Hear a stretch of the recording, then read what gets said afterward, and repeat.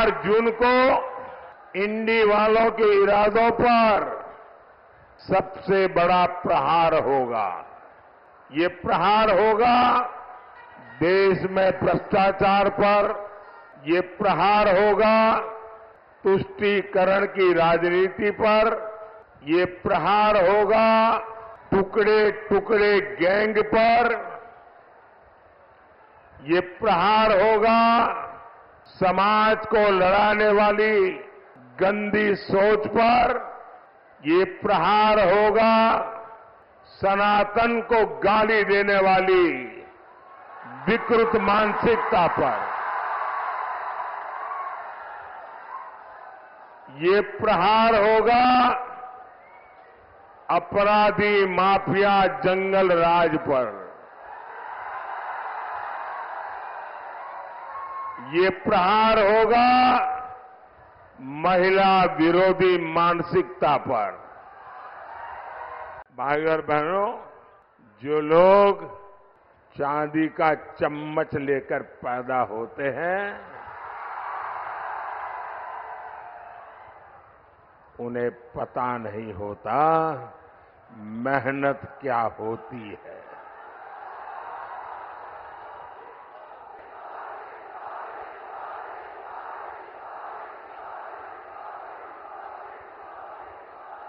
मैंने सुना है कि यहाँ कोई घूम घूम कर कह रहा है कि 4 जून के बाद मोदी को बेड रेस्ट होगा।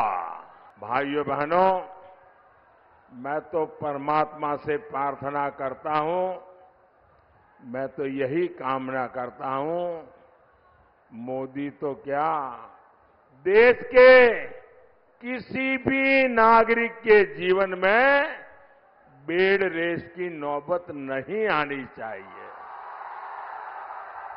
देश का हर नागरिक ऊर्जा से भरा हुआ हो, उत्सव भरी ज़िंदगी जीता हो, लेकिन जंगल राज के वारिस से और अपेक्षा भी क्या की जा सकती है? और ये सब ऐसे ही है। आपने देखा होगा, कांग्रेस वाले क्या कहते हैं? मेरी, मोदी तेरी कब्र खुदेगी। मोदी तेरी कब्र खुदेगी। इनका एक काउंटर पार्ट है उत्तर प्रदेश में। और उत्तर प्रदेश का शहजादा क्या कहता है? अब मोदी के आखिरी दिन बनारस में इसीलिए उन्होंने बनारस में अंतिम गृह की व्यवस्था की है। साथियों, इस चुनाव में इन लोगों के पास मोदी को गाली देने के सिवाय कोई मुद्दा नहीं है। कोई कह रहा है कि मोदी की कब्र खो देंगे। कोई कह रहा है, मोदी को गाड़ देंगे। कांग्रेस के शाहजादे मोदी की आँखों में आँसू देखना चाहते हैं। अरे, इंडी वालों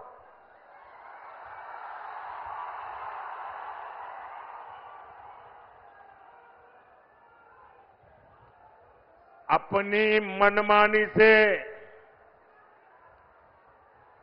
आपकी इच्छा से अब देश नहीं चलता। इंडी वालों की आँखों में भले ही मोदी खटकता हो, लेकिन देश के लिए, देश के दिल में मोदी है। हर दिल में मोदी है। और हर दिल एक ही बात कह रहा है, फिर एक बार, फिर एक बार, फिर एक बार।